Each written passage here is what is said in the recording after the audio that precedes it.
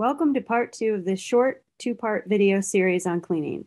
My name is Betsy Bihn and I am the Director of the Produce Safety Alliance and Executive Director of the Institute for Food Safety at Cornell University. In the first video, we talked about considerations as you set up your cleaning plan, including defining cleaning, the importance of communication, identifying surfaces that need cleaned and their attributes, assessing your infrastructure and tools, and finally, the importance of training. I highly recommend you listen to part one first, but this was created to stand alone, so feel free to do as you prefer. Today, we will tackle wet and dry cleaning. As a broad overview, wet cleaning involves the use of water and water-based detergents.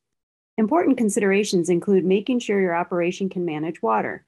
This means having a supply of clean water that has no detectable generic E. coli and being able to drain the water as it's being used so equipment, walls, and floors can dry after they are cleaned. Some operations, due to the commodities they handle, such as nuts, or because of their infrastructure, such as floors without drains, should not be using water. In this case, there is the option of dry cleaning with vacuums, alcohol based detergents, and other dry cleaning appropriate resources.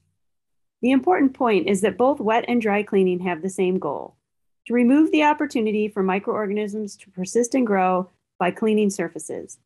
In the next few slides, I'm going to step through both wet and dry cleaning. Step one of wet cleaning is to remove any obvious dirt and debris from the surface. This can be done by using a brush to sweep, air to blow the debris off, or water to rinse off debris. If using water, always use clean water that has no detectable generic E. coli for all sanitation steps. If you are wondering how you know if it has no detectable generic E. coli, this is done through testing, either by your operation if you're on a well, or if you have municipal water, it is likely done by the supplier. You can ask for copies of these testing records. Avoid cleaning with high pressure washers or air compressors, as this could spread pathogens and other debris over a large area in your operation. Step two of wet cleaning is to apply a detergent and scrub the surface. Be sure to use an appropriate detergent for the type of soil that needs to be removed. Some detergents are designed to remove fats, while others are better at removing proteins and others still at removing carbohydrates. Select the detergent that removes the type of soil that is present. Apply the detergent at the level recommended on the label and physically scrub the surface to remove any soil and debris. You may need special brushes to reach all the areas. Cleaning in a well lit area is best, but use a flashlight if necessary. If you cannot see it, you cannot clean it. So make sure you have the light you need to see what you are doing. Removing the soil and other organic buildup can help minimize the formation of biofilms. Step three of wet cleaning is to rinse the surface with clean water that has no detectable generic E. coli. Make sure all of the soil and debris and detergent is removed. Residual detergent can neutralize sanitizers, so make sure you rinse completely. Although this video is focused on cleaning, step four would be to apply a sanitizer when necessary and appropriate for the surface. Some sanitizers must air dry and others must be rinsed. This is why it is critical to read and follow the label. Remember, when it comes to sanitizers, the label is the law. But before we move to dry cleaning, I do want to talk about one more thing. I want to take a moment here to mention that doing a poor job of wet cleaning can actually increase your risks. Some bacteria, such as Listeria monocytogenes, can persist and grow in cool, wet environments. If you do a poor job of cleaning and then allow your equipment and floors to remain wet, you can actually encourage pathogens like Listeria to grow. So if you decide to use wet cleaning, it is critical that you manage the water and that you make sure equipment, walls, and floors have a chance to dry. Train employees to eliminate all standing water and properly handle equipment so it can dry. This may mean hanging up tools or opening flaps on equipment to promote airflow so that drying can occur. It may also require you to invest in tools such as floor squeegees to move standing water to the drain or fans to promote drying.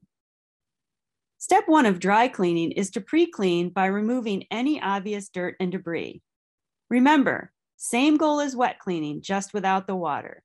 so use brushes, scrapers, air blowers, or vacuums. Step two in dry cleaning is to clean the surface by scrubbing. Some dry cleaning options include alcohol based detergents, low moisture steam, or pelletized CO2 blasting.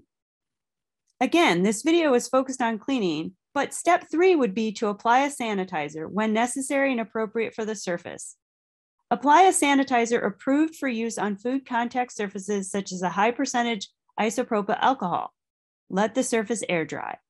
Remember, again, when it comes to sanitizers, the label is the law.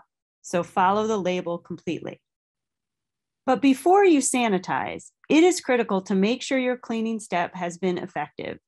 As noted earlier and now quoted on the slide, the FSMA Produce Safety Rule draft guidance notes that inspections should include a visual assessment for remaining residues such as visible soil, food residue, grease, and other materials. Some operations may choose to use methods beyond visual inspection, such as ATP, as seen in this photo on the left. It is also worth mentioning that if your operation handles any allergens, you should be following any requirements necessary to prevent cross contamination. In summary, wet and dry cleaning have the same goal to effectively remove dirt and debris to make sure food contact surfaces and the environment do not support survival of microorganisms such as bacteria that can multiply on dirty, wet surfaces. Proper cleaning also minimizes the formation of biofilms. Both wet and dry cleaning can be done effectively with the proper tools and training.